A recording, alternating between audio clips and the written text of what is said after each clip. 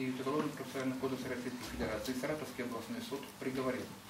Ефимова Владимира Сергеевича признать виновным в совершении преступлений, предусмотренных пунктами В, Д, части 2 статьи 105,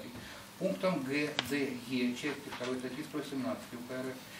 и назначить ему наказание в виде лишения свободы по пунктам ВД части 2 статьи 105 УК РФ сроком на 17 лет с ограничением свободы на срок 1 год. По пунктам Г, Д и Г части 2 статьи 117 УК РФ сроком на 4 года 6 месяцев. На основании положения части 3 статьи 69 УК РФ по совокупности преступлений путем частичного сложения назначенных наказаний окончательно Ефимову Владимиру Сергеевичу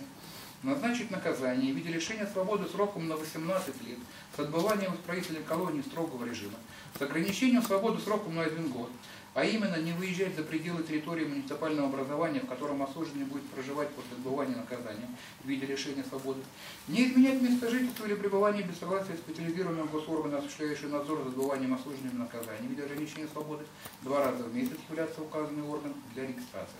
Срок отбывания наказания исчисляет 9 декабря 2016 года.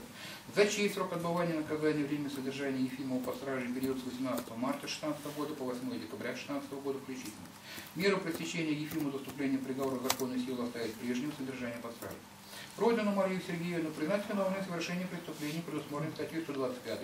пунктом Г, и Е части 2 статьи 117 УК РФ и назначить ей наказание по статье 125 УК РФ в виде штрафа в сумме 70 тысяч рублей доход государства по пунктам Г, и Е части 2 статьи 117 УК РФ в виде лишения свободы сроком на 4 года 6 месяцев на основании положения части 3 статьи 69 УК РФ по совокупности преступлений путем полного сложения назначенных наказаний окончательно Родиной Марии Сергеевне назначить наказание в виде лишения свободы сроком на 4 года 6 месяцев с отбыванием исправительной колонии общего режима со штрафом в сумме 70 тысяч рублей в доход государства. Наказание в виде штрафа лишения свободы исполняет самостоятельно. Срок отбывания наказания исчисляет 9 декабря 2016 года. За чей срок отбывания наказания время содержания Родины под стражей период с 9 августа 2016 года по 8 декабря 2016 года включительно.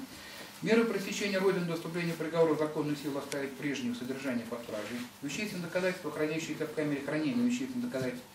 Следственного управления Следственного комитета России по Саратовской области, три ремня, блок питания, электропровод, зарядное устройство от ноутбука, подлокотник от кресла, мобильный телефон, красную майку, спортивное трико, как не представляющее материальной ценности, уничтожить вещественные доказательства